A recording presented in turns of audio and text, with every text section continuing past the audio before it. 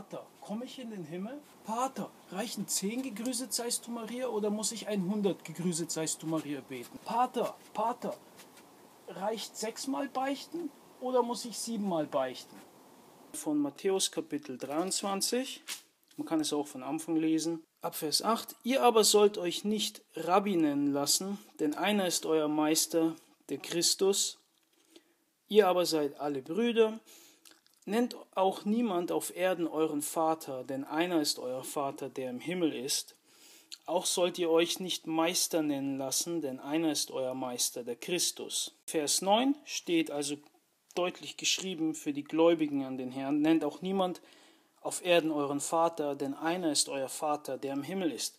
Wie lange nennen wir also diese Leute, diese Priester, immer noch Pater oder Vater?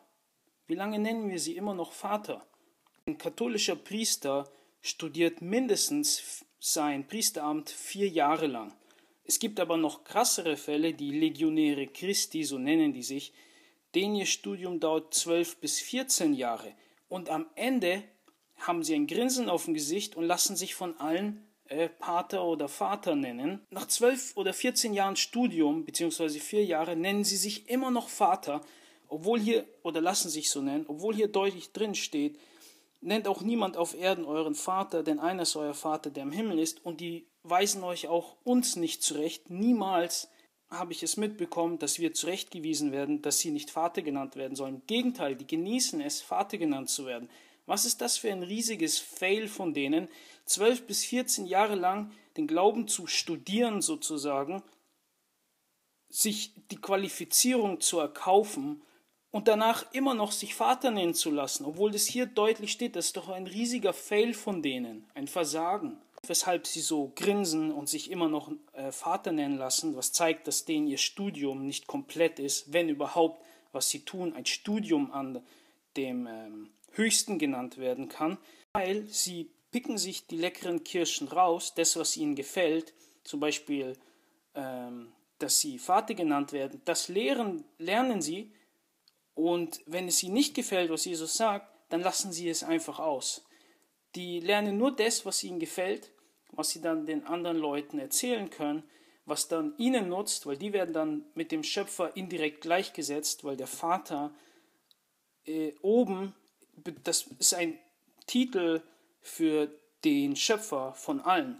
Und die tun sich halt nach 12, 14 Jahren Studium dem Schöpfer gleichsetzen, indem sie sich indirekt Vater nennen lassen oder halt Lehrer oder Meister oder sowas. Dabei sollen wir nur einen Lehrer, Meister und Vater nennen, der oben ist und einer ist euer Meister, euer Christus. Und wenn er Meister ist, ist auch der oben unser Meister.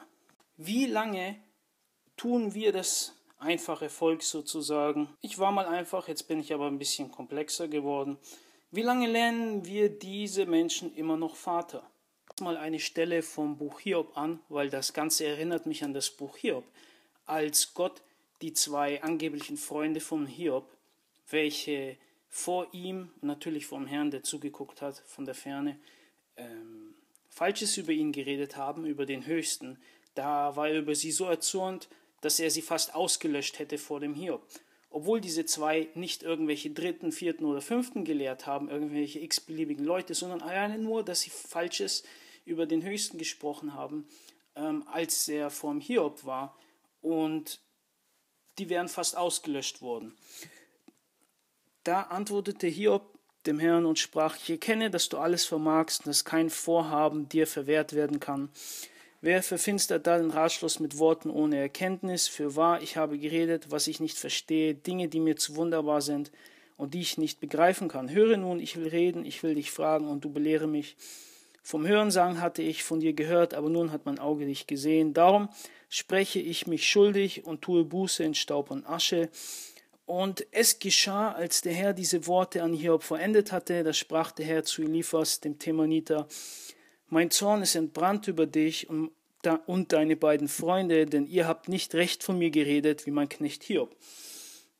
So nehmt nun sieben Jungstiere und sieben Widder und geht zu meinem Knecht Hiob und bringt sie als Brandopfer dar für euch selbst, mein Knecht Hiob aber soll für euch beten, denn nur ihn werde ich erhören, dass ich gegen euch nicht nach eurer Torheit handle, denn ihr habt nicht recht von mir geredet, wie mein Knecht Hiob.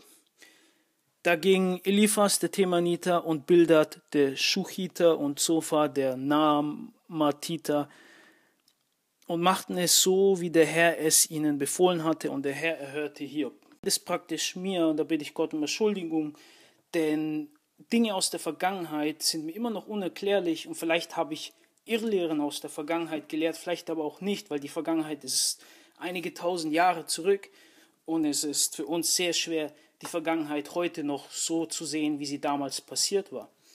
Sache mit dem nenne niemals, ähm, lass dich niemals Vater nennen oder wir sollen niemanden Vater nennen, diese Sache ist ganz simpel und die lassen sich trotzdem noch Vater oder sogar heiliger Vater, der Papst lässt sich so nennen. Diese Sache ist eigentlich die simpelste Sache von allen. In den vier Evangelien sind ja nur vier Evangelien, eine ganz simple Lehre und es zeigt, dass denen ihr Ziel nicht ist, dem Herrn zu gehorchen, sondern denen ihr Ziel ist es, ähm, gelobt zu werden, ihr Amt zu halten, es zu genießen und ihre Stellung, ihre Machtposition zu halten und davon zu profitieren und die Leute in ihrem halt falschen Vorstellungen von wer der Vater ist, auszunutzen.